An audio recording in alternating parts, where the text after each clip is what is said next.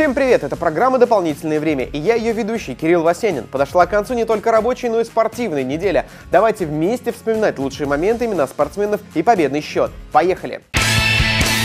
Давайте на этой неделе начнем не с не совсем зимнего спорта, во всяком случае в нашей стране. Футбола. Дело в том, что в прошедшие выходные саровские футболисты открыли зимний турнир. Набралось аж целых 11 команд, которые будут бороться за звание чемпиона. В том году мы играли, значит, 6 плюс 1, в этом году играем 7 плюс 1. А, И изменилась у нас э, длина и ширина площадки. Больше пространства, больше э, места для какого-то маневра. В первом туре игры закончились со следующим счетом. Энергия обыграла с РФТ 1-0, команда «Авангард» уступила Терему 1-2, команда «Саров Инвест» выиграла у Дюшикар 2-1, Концар во встрече с Дюшикар 2 уступил со счетом 1-4. «Динамо ВД» в ничью закончил встречу с командой «Торпедо» 3-3. Во втором туре Концар не смог одолеть команду «Саров Инвест» 2-4, «Энергия» проиграла Дюшикар 0-1, Дюшикар 2 в ничью сыграл с РФТ 0-0, «Динамо ВД» «Динамо Воинская часть» также сыграли в ничью 0-0, команды «Торпедо» и «Терем» также оставили свои ворота в неприкосновенности в течение всей игры. 0-0. Стабильно хорошие результаты продолжают показывать воспитанники отделения единоборств Дюшикар.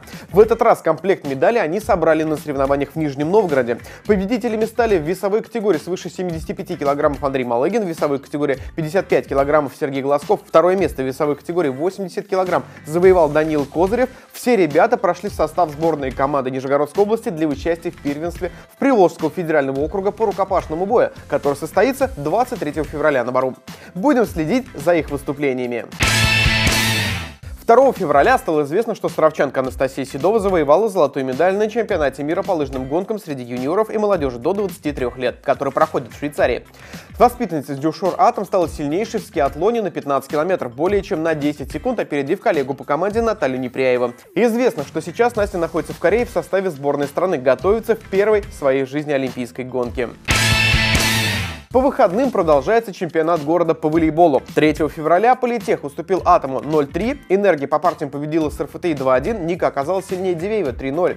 4 февраля старт выиграл департамент образования 2-1, школа номер 20 уступила школе номер 10 1-2, Вознесенская по партиям проиграл Дивеева 1-2, а ветерана одолели юниор 2-1.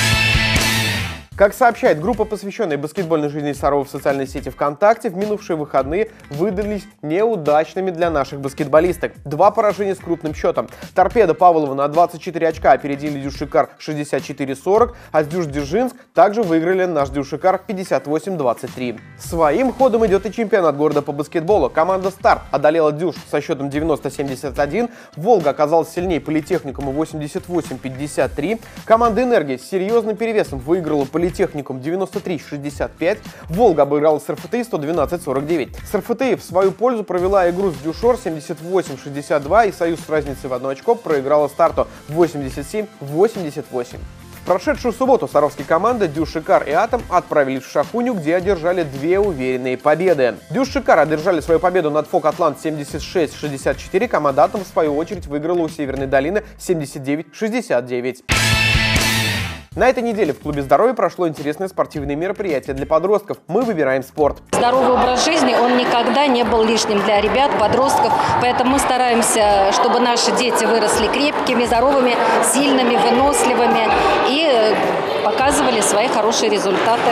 Открылся фестиваль турниром по настольному теннису. Четыре десятка ребят вступили в борьбу за первое место. Среди них были даже те, кто в будущем хотел бы связать свою жизнь с этим видом спорта. Главный вид спорта, в котором я хочу добиться хорошего результата. Он э, развивает э, реакцию, э, силу, силу, э, и тут надо очень э, хорошо мыслить и понимать. На этой неделе прошло еще одно интересное спортивное мероприятие с громким названием «Президентские состязания».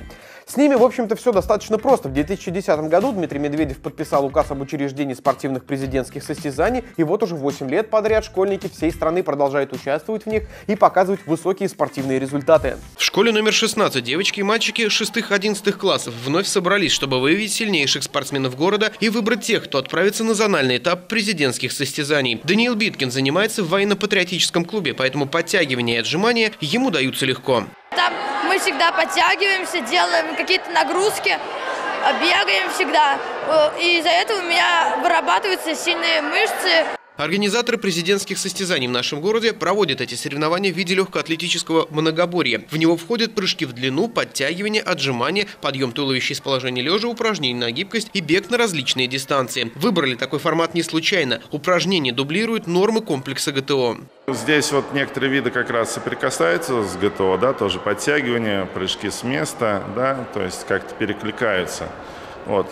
Может быть, в дальнейшем как-то и будет это упраздняться, выливаться в одну единую систему. По итогу всех упражнений по количеству баллов будет выбран класс-победитель, который представит наш город уже на зональном этапе, а дальше, возможно, на областных и всероссийских соревнованиях школьников. Но чтобы там оказаться, надо сегодня и здесь показать высокие результаты.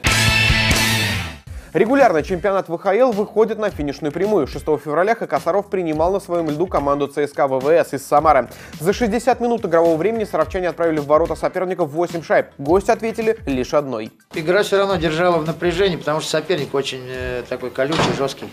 Я лично боялся, чтобы ребят травмы не получали. Команда Саров Инвест в прошедшие выходные провела очередной матч на выезде в Сеченово. С первых минут ХК Саров Инвест захватил преимущество, забив в первом периоде 5 безответных шайб. Во втором игровом отрезке хозяева да ответили двумя результативными бросками в створ ворот саровчан и пропустили еще 6 голов. В третьем периоде сеченовцы попытались переломить ход поединка, перехватив инициативу и забив 4 шайбы против трех пропущенных. Но это не помогло им решить исход встречи в свою пользу. Итог – победа саровской ледовой дружины с уверенным счетом 14-6. Скорость, азарт. Спорт настоящих мужчин. Только не надо бояться отнимать шайбу, как сейчас наши. Хорошая игра, хорошие команды. Там, конечно, сегодня немножко нашим не везет. Но Саров тоже молодцы, они чемпионы. В эти выходные по традиции можно по-спортивному провести время. Для любителей горнолыжного спорта работает гора глубокая. Прокат подъемника свежий воздух в наличии. Продолжает работать и лыжная база. Есть прокат ватрушек и лыжного инвентаря. Специально оборудованные трассы и освещение, которое работает до 8 вечера. Прекрасное место для семейного отдыха. И еще одно место, прекрасно подходящее для активного отдыха с семьей или друзьями, это, конечно же, каток. Прокатиться на коньках можно будет на самом большом катке в ПФО на стадионе Кар. Все выходные он работает с 11 утра и до 8 вечера. 11 февраля в воскресенье Саровский Атом в рамках чемпионата области принимает на своей площадке команду «Торпеда». Баскетболисты из Павлова – это, пожалуй, самая непредсказуемая команда чемпионата, способная преподнести сюрприз в любом матче. Начало встречи в 15 часов. Наши юноши сразятся со сверстниками из Павлова в 13 часов.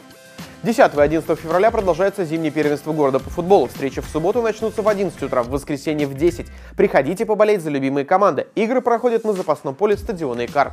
В субботу в 12 дня состоится торжественное открытие традиционной лыжной гонки «Лыжня России 2018». Любите этот вид спорта? Не пропустите. А также Саров Инвест играет на выезде в Арзамасе. Начало встречи в 13 часов. Не пропустите трансляцию в нашей группе ВКонтакте. На этом все. Актуальные спортивные новости нашего города смотрите в программе «Дополнительное время». Всем побед! Пока!